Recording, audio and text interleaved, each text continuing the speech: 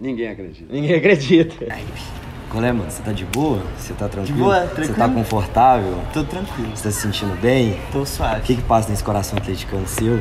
Hoje a gente vai ter um Ninguém Acredita meio psicólogo, tá ligado? Aham.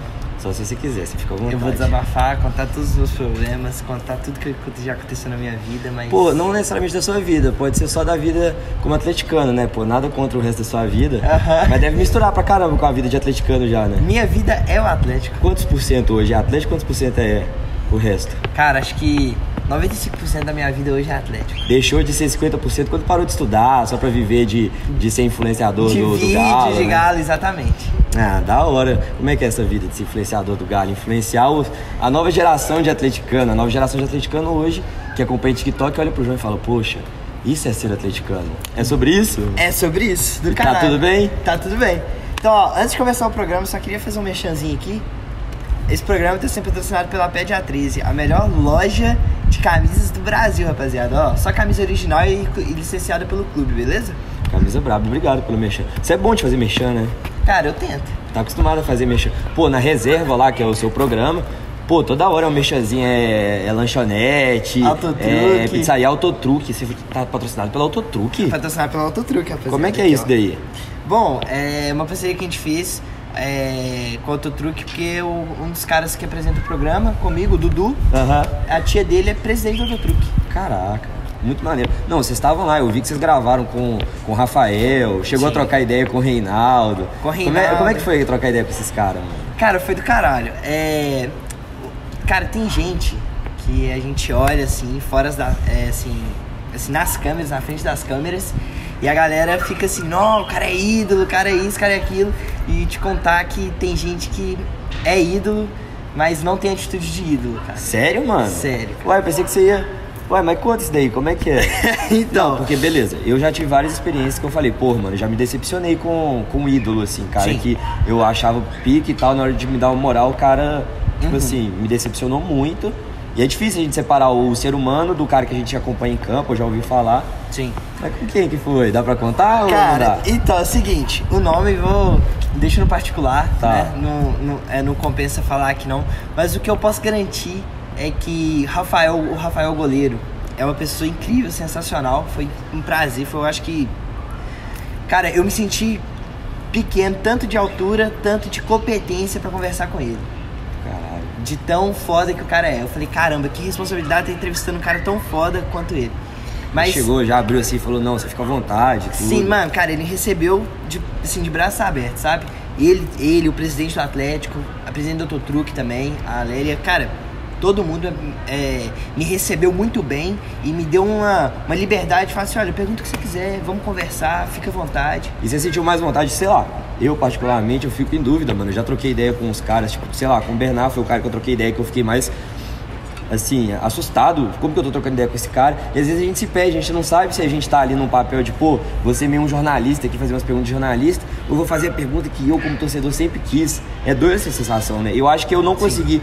É, me sentir tão preso, eu me senti mais livre quando eu tive essas oportunidades. Então eu falei, pô, consegui o que eu queria. Mas é uma sensação difícil, né? Porque você, pô, você tem que manter o cara interessado ali, não dá pra ser. Pô, você Qualquer tem vontade de coisa- ser uma entrevista maneira. Sim. Não quero que o cara fale, ah, eu só dei ideia pra aquele Zé Ruela lá e boa. Não, quero fazer umas perguntas diferentes e tal. Sei lá, se para arrancar uma gargalhada do cara. Sim. Acho que eu consegui isso daí quando eu tive a oportunidade com alguém. E você, você trocou ideia de, de chegar e tal, ou suas perguntas foram mais, pô. E aquele, e aquele esquema tático lá? Entendi, mais técnicas. Cara, então, é o seguinte, a história, ela não começa aí. A história começa no TikTok em dezembro do ano passado. Aham. E é do caralho contar ela que é o seguinte. Você fala sua trajetória, né? Sim, exato. É na internet. É, eu sempre fui muito atleticano. É, eu fui, nasci praticamente, fui criado dentro do Mineirão. Sabe? Meu primeiro jogo que eu fui na vida, eu tinha dois anos e meio. Atlético Náutico pela Série B. É, se não me engano, foi em maio. Eu não sei Aham. o dia certo, mas se não me engano foi em maio. É, na. Acho que é primeiro turno da Série ter, B. você ter dois anos na época da Série B é tiração, mano. O cara, é? pegou, o cara pegou só a fase boa, nossa, mano. A fase ruim dele ficou quando ele tinha dois anos. Aí é, É foda. quando, não é? Ah, e aí? Mas, cara, é, eu, é, com dois anos e meio eu fui no primeiro jogo e meu pai me levou em todos os jogos da Série B. Eu fui em todos os jogos. no Mineirão Antigo. No entanto, cara, tem uma foto minha no Mineirão Antigo. se- Não sei se tem como colocar na edição aí. Ah, Cara, juro, é uma foto, tipo assim, ela é muito linda. E todo mundo que eu mostro, ela fala que, cara, essa foto aqui é minha, sou eu na foto. Os caras ficam, mano, mentira, como assim? ser molequezão, pá. É, e a foto, tipo assim, parece que ela é- foi até editada, porque a qualidade não é uma qualidade ruim, Aham. uma qualidade boa. E, tipo assim, o Mineirão antigo com a, com a, com a torcida, assim, ó, de ladinho, saca? Aham. Mano, bonito Seu pai que te levava mais? Meu pai que me levava. Meu pai que, que me colocou dentro do, do, do campo. E foi passando, cara, na época o ingresso era 5 reais Aham. Né? Então, assim, ele- a gente ia todo jogo. É, eu fui crescendo, fui começando a aprender, a entender o que, que era o futebol, porque, pô, nessa época, nessa idade, a criança, é, ele me levava no jogo, mas não assistia o jogo. Aham. Eu, eu ficava, tipo assim, passava uma água, pai, me dá água, passava Pico- refrigerante. não. Ó, eu era picolé, cheetos e tropeiro. na Cara, então- Nossa, aqui, ó. Não, só Não, comendo. outro picolé. E o meu pai queria me deixar, né? Queria que eu gostasse daquilo Sim. ali. Então eu falava assim, não, Então vou, te- vou, vou mimar ele pra caramba. Não conta pra Exato. Ah, é engraçado que a gente, quando é mais novo, a gente aprende as coisas erradas tudo com o pai, né? Aham. Quando a gente descobre que dá pra mentir, que dá pra é, omitir as coisas, é quando ele fala assim, não precisa contar pra sua mãe. É. Aí era picolé, descendo refrigerante. Nossa, tomava refrigerante pra caramba. O lugar que eu mais tomava Sim. refrigerante era no estádio. Cara, com certeza. Porque, ó, pensa o seguinte: você com o filho, é com seu filho. A criança, pá, ele chega num lugar onde não é um ambiente que ele tá acostumado, muito barulho, pá, que é o ambiente de estádio, ele vai querer ir embora. É, Como que você faz chorar. pra prender a criança? Exato. Passou pro colé, dá o picolé, passou refrigerante, dá refrigerante, pipoca, batata, tropeiro, o que for, filho. Enfia na criança, a criança comendo e vai- ela vai gostar de ficar ali. Vai gostando, pô. E é divertido, é engraçado. Tem as crianças que a gente vê até hoje, que quando a gente olha pra elas, elas estão curtindo pra caramba, estão no ombro ali Sim. e estão se divertindo e tal. Mas eu não era assim, não. Eu era do, do moleque que Eu ficava que, ah, emburrado ali Eu e quero ir tal. embora. É, fui aprender a gostar do galo depois. Sim. A gente vai crescendo, né? Aí foi por isso que você começou a gravar? Você falou, tipo, pô, depois de um tempo você falou, pô, são essas memórias, essas coisas que eu gosto. Aí chegou na, na pandemia agora, que foi a época que você mais estourou. Sim. Você falou, ah, é por causa do galo que eu vou começar a gravar? Ou você começou a gravar por causa do galo? Não, pera, Entendi. Entendeu? Tipo um assim, dois. Você gostava de gravar e resolveu gravar com, sobre o galo? Sim. Ou você gostava do galo e resolveu gravar porque você gostava do galo? Cara, os as duas. É, como eu te falei, eu, fui, eu nasci praticamente, fui criado dentro do Mineirão. Ao longo do tempo, parou. Eu, eu- eu não precisava mais de ter o picolé pra, tá aqui, pra, pra querer estar ali, Aham. sacou? Eu queria estar ali. É, no entanto, que com meus oito anos eu já entendia bastante, já gostava de ir todo jogo. Eu ia em todos os jogos do Atlético e um detalhe. Eu ia em todo jogo que tinha em casa e todo jogo eu passava mal antes do jogo de ansiedade. Sério? Foram inúmeras as vezes que eu cheguei na porta do Mineirão, meu pai pingava remédio debaixo da minha língua e eu entrava pra dentro do jogo. Cara, era eu entrar dentro do estádio, parecia que tirava com a mão. Que tudo que eu tava assim, ah, tava com enjoo, tava com diarreia, tava com o que for. O meu pai fala que é, ele me conta que teve uma vez que eu dei até febre antes de ir no jogo. Aham. Que eu cheguei dentro do estádio, que ele colocava a mão em mim, que ele não sentia. Eu não, Tava de boa. Cara, não tinha mais nada. Caraca. Então loucura. é um amor que vem de dentro, que É uma vem energia, né, velho? Tipo assim, Sim. é tanto o ambiente ali que você vê muita gente é, em sintonia, porque tá todo mundo pensando a mesma coisa, querendo a vitória do Galo. Sim. Torcendo pro Galo, ou pra reclamar, ou pra xingar, ou pra brigar, mas tá todo mundo querendo a vitória. Sim. Isso é uma energia que a gente não encontra em outro lugar. Não existe nenhum outro lugar no mundo que você vai pra um lugar e tem 20, 30, 60 mil pessoas todas querendo a mesma coisa. Sim, do caralho isso. Tem algum outro lugar? Não, Não tem, tem, mano. As não pessoas tem. se encontram pra poder querer a mesma coisa. Exato. Sei lá, se você vai pra um cinema, mesmo que o cinema tivesse muita gente, vai ter gente que vai torcer pro herói, vai ter gente que vai torcer pro vilão. sim. No estádio de futebol, não, ainda mais no, No estádio de futebol. Né, tipo assim, o estádio de futebol tá todo mundo torcendo pro mesmo time, na maior parte das vezes. Sim. Tá todo mundo ali torcendo pro Galo. E, e- e- e tudo em prol de uma coisa, vitória e bem do Atlético. É. E respondendo a sua pergunta, é, então assim, eu fui crescendo. É, em 2020, meu pai e minha mãe se separou. E foi uma época muito difícil da minha vida. Sua mãe é atleticana também? Minha mãe é cruzeirense, Pô, aí é foda, hein, velho? não é? E eu moro com ela. Ah. E, pô, um filho pouco atleticano, graças a Deus. É, e o, o meu pai é atleticano, pai, e aí. É, em, é, em 2020 eles se separaram. Em dezembro foi o primeiro Natal que eu ia ter com os pais separados. De qual ano? De 2020. 2020? Ah, agora, pô. Agora. E aí eu falei, cara, que bosta. Foi tipo assim, foi. Eu te falo que tem gente que não tem o pai, tem gente que não tem a mãe, tem gente que perdeu. Mas pra mim era uma experiência nova e foi sofrido, Ah, sacou? óbvio. Eu não gosto de, tipo assim, falar assim, ah, a pessoa é mais sofrida que essa, não sei o quê. Eu não gosto de medir sofrimento. Ah, cada um tem sua experiência, né? E minha mãe, sabendo que eu sou muito atleticano, falou assim: é, pra me animar, ela foi na loja do Galo e falou assim: olha, escolhe o que você quiser. A loja inteira é sua. O que você quiser, você. Assim, você vai escolher uma. Você não pode pegar Aham, tudo. aham. Mas escolhe uma coisa, que você quiser, que eu vou te dar. E eu falei, caralho, doideira, né? Tô na loja do Galo, qualquer coisa que eu escolher é minha. E aí, sempre, fui muito, sempre tive muita camisa do Galo, falei, eu quero mesmo uma camisa do Galo. Ela falou assim, não, tudo bem, mas deixa eu te falar. Olha aqui, tem calça, tem agasalho, tem tênis, tem máscara, tem o que você quiser. É, dependendo do preço da coisa, podia ser tipo L mais alguma coisa, sabe? Se fosse uma parada muito cara. E aí, é, eu falei, cara, não, mãe, eu quero a camisa do Galo. Que eu só pegar a camisa do Atlético, eu quero ter a camisa do Atlético. Ela falou, não, tudo bem.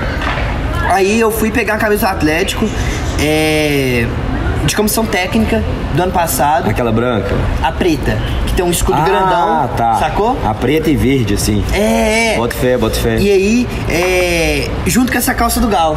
Essa calça é foda. Essa calça é foda, né? Essa calça é maneira. E eu peguei junto com essa calça do Atlético. E aí eu experimentei e falei, caralho, ficou um kit muito foda. Aí tava dando um preço salgado. Aham. Sacou? Porque a calça não é muito barata, a camisa também não era barata. Eu falei, pô, vou ter que escolher uma das duas. Aí eu fui e vi uma camisa de goleiro lá é, do, das temporadas passadas que a loja Atlético vende, até mais barato, né? Que é o que É, chega a passar as temporadas passadas, eles começam a fazer uns preços melhores Sim. e tal. Tipo, muita gente espera pra poder comprar, inclusive por causa disso. Exato. Aí eu fui vestir ela, falei, pô, gostei pra caramba disso aqui. Aí eu fiquei na dúvida entre a camisa de goleiro e a calça. Aham. E aí minha mãe, eu fui fiquei em dúvida, mostrei pra minha mãe que eu tava em dúvida, ela me deu a opinião da calça. Falei, ah, vou ficar com a calça então. Eu fui devolver a camisa pro vendedor e aí minha mãe foi e pagou a camisa de goleiro e a calça. Porra. E a camisa terceiro de jogo. Então eu ganhei Qual? A cinza? a cinza. Pô, Então, aí você montou o kit. Aí veio É. o Papai Noel. Exato, eu, eu, eu ganhei a cinza, a calça e uma camisa de goleiro. E eu não sabia, achei que tava ganhando só a calça. Aham. Ela colocou, ela pagou e eu experimentando a calça pra dentro do provador, ela, ela entregou as camisas pro cara e falou, guarda que eu vou levar. Aham. Então o cara já colocou dentro da sacola, aí eu entreguei a calça pro cara e falei, aqui, migão, só a calça mesmo, valeu. Todo feliz com a calça, Ah, tipo. sonho. A calça é muito doida. É, mano, eu falei, porra, já, assim, já tá ótima a calça. Aham. Cheguei em casa, abri a sacola, peguei a calça, que porra é essa, sabe? Tava cheio. Mano, tava cheio, eu fui tirando a camisa. casa- tinha saído uma camisa de cada perna, assim. É, exato, mano. E aí eu falei, mãe, aí ela foi, foi surpresa, pá. Aí eu achei, aí eu fiquei, mano, aquilo me deixou muito feliz. Da sua mãe cruzeirense ainda. Da minha mãe cruzeirense, pá. E, e aqui, os presentes me fez esquecer um pouco a parada do Natal, a parada família, pá, e me fez focar naquilo que eu gostava. Aham. Aí no dia 26 de dezembro, é, eu tava lá em casa à toa, né? Depois, obviamente, do Natal. É, já tinha passado aquela ressaca, pá. Ah, já tinha curtido o Natal pra caramba. Sim, e aí eu falei, cara, eu vi um vídeo no TikTok falando é, com um áudio falando assim, essa camisa. Aí a, a menina falava assim, João, essa camisa não, camisa de time, veste Aham. outra camisa. Eu falei, caralho, mano, tem meu nome, tô com essa camisa nova ali, vou gravar só de zoas. Vou fazer esse áudio aqui. É, gravei, postei, tipo assim, fora de horário de postar, sem hashtag, sem nada. Bateu 14 mil views. Caraca. E, cara, hoje, se eu fizer isso hoje, se eu postar, tipo assim, um vídeo fora do horário, sem hashtag, sem edição, iluminação paia, não vai pegar mil views. Aham. Na época pegou 14. E aí, e cara, eu não entrava muito no TikTok e eu postei, eu não postei pra viralizar. Você eu colocou ar postei pra, ali, tipo assim, pra deixar salvar. guardado. Exato. E aí eu saí do TikTok, pá, no Instagram, mexendo no WhatsApp, é, no Twitter. Falei, ah, vou entrar no TikTok. Quando eu entrei no TikTok, desceu uma porrada de notificação. Que notificação? velho? Quando eu fui ver, 14 mil views. Falei, caralho, velho, o vídeo, 14 mil? E era você experimentando várias camisas, Exato, tipo, mostrando toda a sua coleção novas, ali exato. e tal. E a galera curtiu. E a galera curtiu. E aí eu falei, mano, vou começar a gravar. Esse negócio deu certo aqui, eu vou gravar mais um de teste. Gravei mais um, postei, deu 4 mil views. Doido. Muita Falei, gente. É muita cara, gente, velho, que, gente. que alcança TikTok, né? Tipo, eu Sim. faço um ou outro. E a gente vê, velho, do nada você chega pra pessoa muito diferente. E às vezes não necessariamente só atleticano, chega muito Sim. cruzeirense, Cruzeirense, e tal. E, e é legal ver o engajamento deles Não, também. demais, é do caralho. E aí eu falei, cara, eu vou começar a gravar. Comecei a gravar dentro do quarto, brincando. É, depois comecei a, pô, não, então vamos melhorar, já que vamos gravar. Eu já tive um canal no YouTube, então eu já manjava de edição um pouquinho, pouca coisa, bem raro. É, inclusive o que eu sei de edição hoje, muita coisa eu aprendi com você. É, a gente vai falando ali umas coisas hoje. É, vai eu já gostava, né? eu gosto de gravar TikTok, mas eu gosto de sempre fazer uns treinos diferentes que eu já vi em outros lugares. Sim. Então, pô, vamos fazer uma transição aqui, vamos fazer um negócio ali e a gente vai se compartilhando. E eu não sabia mexer na plataforma, mano. Sim. A plataforma do TikTok, pra quem tenta gravar aí, velho, você vê lá, pô, é diferente e tal, então eu gravava tudo antes, só que não dá o mesmo resultado, né? Sim. Parece que não entrega do mesmo jeito quando você edita fora. E você já tinha a mãe de editar e a gente vai trocando conhecimento ali. Sim. E, e trocando conhecimento de como engajar a galera também, chegar nos cruzeirenses, chegar nos flamenguistas. Chegar no- Que eles comentam pra caramba Exato. também. Quando é que você descobriu que era bom também alfinetar os caras? Então, é, eu descobri logo no meu terceiro vídeo, que foi o meu primeiro vídeo zoando o Cruzeiro. O que aconteceu? É, eu postei os vídeos e aí eu falei, pô, tá dando certo, então agora vamos de- eu, eu vou dar uma dedicada. Eu arrumei iluminação, pá, comecei a gravar. Meu primeiro vídeo zoando o Cruzeiro, tive um pouquinho de hate. E sabe quando aquilo não me atinge, é, você não te atinge? Você acha mais bom? Eu olhei e falei, cara, isso é bom, pô. Tá, eu- pô, eu olhei o vídeo, o meu primeiro vídeo tinha 14 mil views, mas tinha 500 comentários. O vídeo zoando Cruzeiro tinha 3 mil views, mas tinha 2 mil comentários. A galera um comenta com o outro, aí o outro já briga e fala assim: Exato. Ah, você é isso aqui, isso aqui. Fala, não, sua mãe quer isso aqui, isso É, aqui. e eles começam a brigar. E eu falei, cara, eu gostei disso aqui, eu gostei de ter o número. e aí, cara, comecei a descer o pau no Cruzeiro. E você vê, é quase como se o perfil virasse um portal de, de rivalidade ali. O- Exato. a sua base ali, que é atleticana, vai discutir com o Cruzeirense. E ainda mais quando não tá tendo torcida no estádio, a galera vai pra rede o social pra local, trocar ideia. exatamente, o local onde eu falei, é, inclusive é uma forma ma- é, de, é, de ficar mais próximo do estádio é pela rede social. É, e, e às vezes no estádio a gente não consegue tanto discutir com o rival. Às vezes o rival Sim. a gente ia conseguir discutir dentro da escola, no trabalho, na rua, assim, alguma situação. Como não tem a maior parte dessas coisas hoje também, a gente meio que troca esse momento de rivalidade que a gente teria no dia a dia pela rede social ali e também o momento de curtir junto com o cara que é do mesmo, do mesmo time Sim. na rede social, só que para outros momentos. E tudo isso é engajamento e espalha para mais pessoas. Exatamente. E, e, cara, isso te dá resultado. No entanto, que agora eu vou, vou dar uma alongada na história que eu tô É. é, sendo detalhista demais. É, o Na Reserva, o Dudu me chamou pra fazer parte dele. E aí eu abracei o projeto do podcast, onde eu abracei o projeto era só uma coisa no papel, era um sonho ainda. E aí eles falaram assim, não, então beleza, a gente já tem tudo, vamos fazer dar certo, vamos tirar esse papel. Pegamos estúdio, pegamos câmera, pegamos iluminação, fizemos tudo, montando toda Todo a mundo estrutura. aprendendo junto. Exato. E hoje, é, a gente, assim, não é que a gente é estourado, famoso, mas graças a Deus deu muito certo. Tanto que, pô, a gente entrevistou pessoas, presidente do clube, entrevistamos, sabe, jogador profissional. Presidente do Galo hoje. Exato. é, que eu vi lá também uma jogadora do Cruzeiro. Jogador do Já tem um Cruzeiro. jogador, o Rafael, que é do Galo, já se entrevistaram duas vezes. Sim, é, a gente entrevista TikToker, a gente entrevista pro player, Aham. sabe? Então, tipo assim, a gente FIFA, tá... pesa ali. Exato. Então, assim, cara, é. Do caralho. É, Eu te falo que foi um sonho que eu comecei brincando e hoje eu me dedico, eu dou, eu dou minha vida.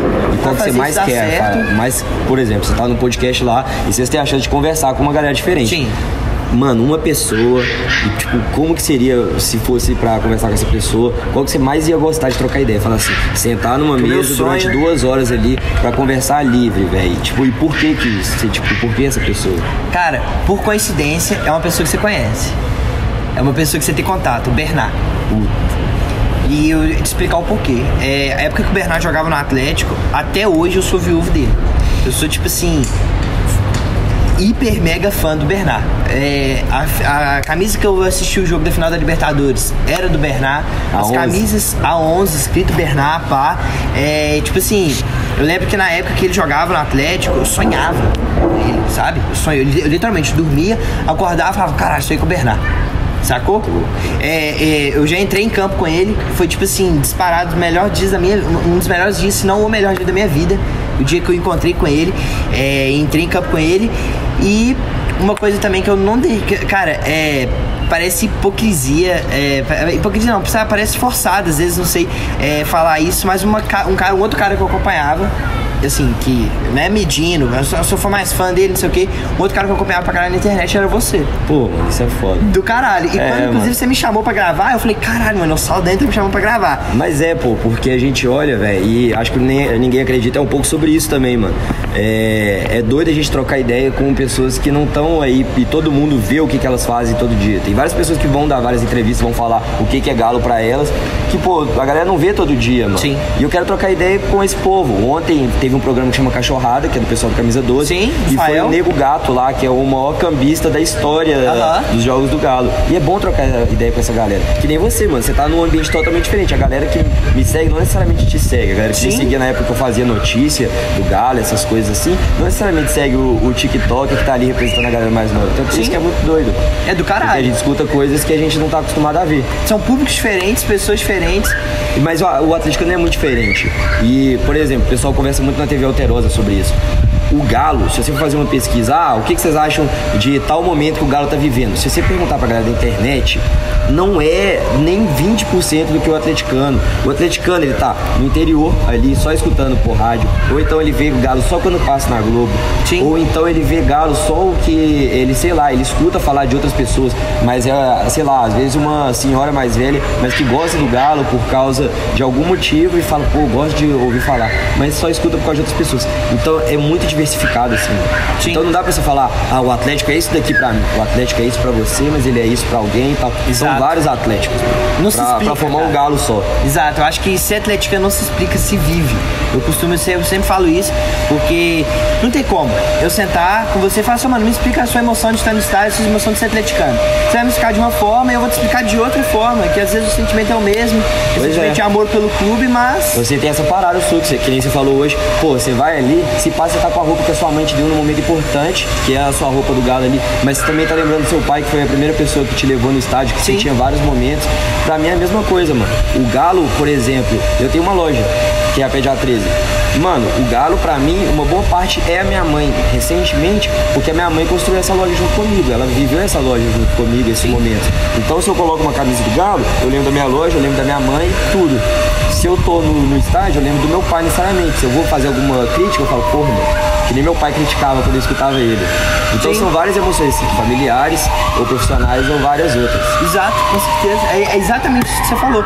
E nos vídeos eu encontrei uma, uma forma, talvez assim, de me distrair. Não acabou os problemas que eu tenho em particular, mas, cara, ajudou pra caralho. É um hobby, Eu te né? falo que ajudou muito mais que a própria terapia. É, é, estende o momento do campo, porque o campo é uma terapia. Sim, você tá ali no exato. estádio é uma terapia. Se você estende isso, se isso dura mais, tipo assim, vai durar também o tempo que eu estiver gravando, vai durar também o tempo que eu estiver ali fazendo, tipo assim, sei lá, uma entrevista, alguma coisa assim. Sim. Pô, vai estender aquele, aquele momento ali que era pra ser 90 minutos por semana, vai ser 24 horas por dia. Exato. Exatamente. É, Esses hobbies são bons por causa disso. Mano, é do caralho. É, a galera fica perguntando, ah, mano, por que, que, por que isso tudo? Por que você é tão atleticano? Por que, que você. Você acha que você exagera? Meu pai, inclusive, ontem mandou um áudio pra mim falando sobre isso. Que eu, ah, eu exagero demais, que eu provoco muito e É. tudo mais. E eu falei, cara, a minha vida é isso. É. A minha. O, o, o- meu dia a dia é isso. Se o seu dia a dia é vender, se o seu dia a dia é trabalhar, se o seu dia a dia é limpar, se o seu dia, dia a dia é negociar, o meu é atlético, é provocar, é viver, é fazer piada. partes. Exatamente. E é isso aí, mano. Doido demais, mano, doido demais. Então, ó, colar com, colar com o Bernard e continuar gravando. Se fosse pra fazer uma coisa diferente, então, com o Bernard, que não fosse sentar numa mesa e gravar. Qualquer outra coisa. Conhecer ele, cara. Onde? Falando, tipo assim, pô, vamos dar um rolê aqui, ó. Qual é, mano? Tá liberado aí 7 horas. O Bernard acabou de te ligar. Sim. Vamos onde? Cara, numa churrascaria, sentar, trocar resenha com ele, tipo assim, é, conversar. E não falar sobre, ah, mano, e aí, como é que é o galo, não sei o que. Não, e aí, você vai voltar pro galo? Não, cara. Conhecer da pessoa dele, sacou? Conversar com ele, falar, e aí, mano, tranquilo, cara? Como é que você tá? Como é que é, que é viver fora do, do, do seu, do seu país? Conhecer pá? a mesma pessoa. Exato. Tá. É. Não só conhecer o profissional. Ó, não sei se você não me perguntou, mas sinceramente eu adoraria ir pra boatezinho pegar uns rebotes dele que eu não ia achar nem um pouco ruim, viu, velho? Não é? Pegar uns Imagina. rebotes ali deve ser ruim, será? Nossa, só os rebotes 10-10, tá ligado? 9 10, de 10, 10. não. 11 de 10, porque ele 11 usa de 11. Mano, é sobre isso então, mano. Bom demais trocar essas ideias, velho. Tamo junto. Muito obrigado pelo convite, mano. Mano, é da hora, da hora mesmo saber mais coisas assim. E, pô, é isso, mano. É só É um isso. pouquinho do, do que a gente vive, né, mano? É. Demorou. Corta essa franja qualquer dia desse, viu, mano? Mano, você quer o estilo. É o charme. Ah, estilo. Segura essa.